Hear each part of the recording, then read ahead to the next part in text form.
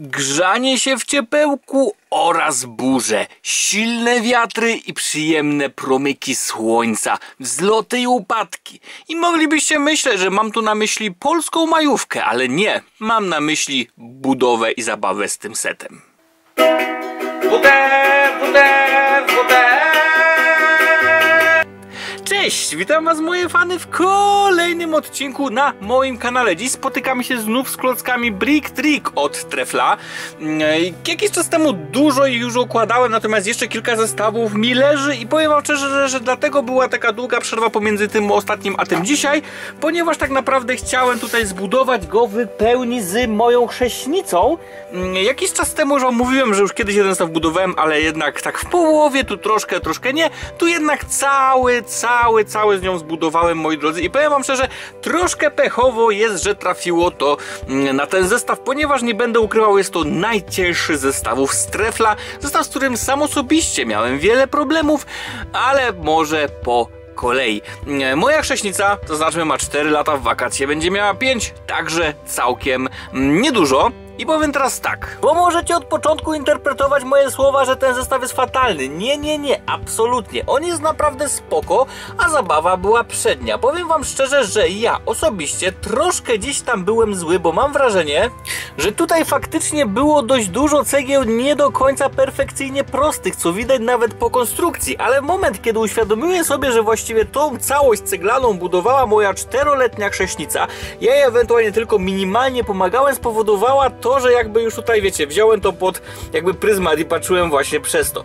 Dodatkowo, szczerze, to powiem wam szczerze, ja patrzyłem na to i mówię, kurczę, tu krzywo, tam krzywo, ale gdy zobaczyłem, jak moja chrześnica się świetnie bawi, mówię, kurczę, no to widocznie to nie przeszkadza i tak naprawdę nie powinno być tutaj wyznacznikiem dobrej zabawy. Bo tak jak mówię, ona bawiła się przy tym zestawie wyśmienicie, przy budowie tego zestawu bawiła się, także jak mogę oceniać tutaj ten zestaw y, krytycznie w momencie, kiedy mówię, zabawa przy nim jest po prostu przednia. I musicie jakby od początku, zresztą mówiłem to już nie raz, mieć na to wzgląd, gdy bawicie się klockami Brick Trick. No bo tak naprawdę wiecie, to nie są klocki Lego. Tutaj nie osiągniecie perfekcyjności. Tutaj nie będzie równiusio, tutaj nie będzie przepięknie, ale tak jak mówię, okazało się, że to wszystko jednak się chowa przy dobrej zabawie, jaką po prostu mamy mm, z tymi klockami. Ale wiecie, wszystko co dobre kiedyś się kończy. Bo też nie jest tak, że zestaw jest pozbawiony wad. Niestety całość przegenialnej zabawy skończyła się trochę w momencie dojścia do tych drewnianych elementów. Jeszcze dach, pół biedy, ale już te łódki i stoliki, no to był poważny problem. Faktycznie powiem wam szczerze, no bo w tym zestawie dostaliśmy aż 4,5 metra, ponad 4,5 metra deski. Czujecie 4,5 metra tych deseczek? I na przykład już jednej ławki nie zrobiłem, dlatego że tych deseczek mi zabrakło, a dodam szczerze, praktycznie wszystkie ciąłem dobrze. A problem, tak jak mówię, pojawił się w momencie, kiedy zaczęliśmy kleić sobie tutaj te drewniane elementy, których faktycznie jest tutaj sporo, jest tutaj ogromna ilość, bo tak naprawdę w momencie, gdy skleiliśmy to dno, mogliśmy skleić tylko to dno ze sobą, po czym musieliśmy je odłożyć na bok, by wyschło. Mm, Trzeba było poczekać 10-15 minut, to później, dopiero później dwa boki dokleiłem, 10-15 minut, tutaj przód i tył, 10-15 minut i tutaj to.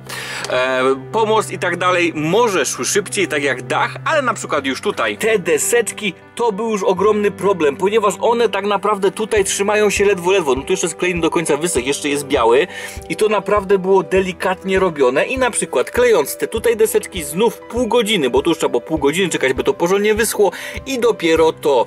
Mm, I tak samo z tymi deseczkami. Spójrzcie, tu jest wszystko bardzo cieniutkie, nie do końca to rozumiem, natomiast fakt faktem jest taki, że ta zabawa po prostu bardzo się przedłużyła i o ile tutaj jeszcze budując szło to w miarę szybko, w miarę sprawnie i nawet czteroletnie dziecko się super cieszyło z takiej szybkiej, sprawnej pracy, tak już tutaj przy tych mikrodeseczkach, gdzie mówię, same deski zajęły już z półtorej godziny klejenia, całość reszty, powodowało, że to rozproszenie uwagi już gdzieś tam było, no i niestety faktycznie ta zabawa trochę klepła. I tutaj ogólnie znów mógłbym powiedzieć, że do deseczek mam trochę ale, bo uważam, że wiecie, no tutaj te deseczki były nie tylko, były cięte nie tylko wzdłuż, ale i wszerz. I bardzo często się zdarzało, że deska cięta wzdłuż, no niestety, no nie cięła się perfekcyjnie, co chyba widać chociażby tutaj po tych deskach. I oczywiście, jeszcze raz zaznaczam, klocki Brick Trick nie są klockami, które musicie traktować jako perfekcyjne klocuszki, które będą świetnie przylegały jak Lego. Niemniej, no jednak uważam, że chciałoby się, żeby one były łamane, a nie wycinane. Tym bardziej, że często już w instrukcji spotykaliśmy się z czymś takim jak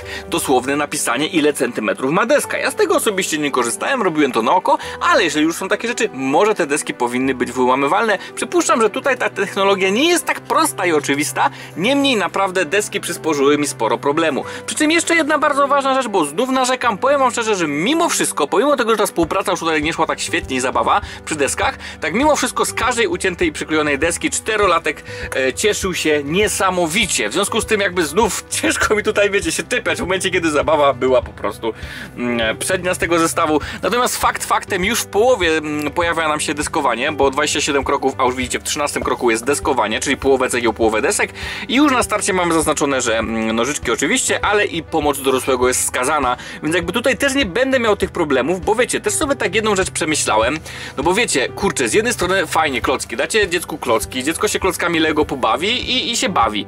Ta zabawka wymaga obecności dorosłego i czy to źle, czy to źle, że ta zabawka integruje? Stwierdziłem, że absolutnie nie, a wręcz przeciwnie. To jest ogromna, wielka moc tej zabawki, że ona również integruje mm, dorosłego z dzieckiem, bo tutaj ta współpraca być musi. Żaden, nawet przypuszczam 10-latek będzie miał problemy poradzić sobie z tymi deskami, a żaden czterolatek nie ma opcji tego ogarnąć. Tu pomoc dorosłego jest potrzebna i uważam, że absolutnie świetna sprawa. To jest świetnie. Nie wiem, czy to jest zamierzony cel, czy nie, ale świetna integracja między dorosłym a dzieckiem, uważam, występuje w tym przypadku.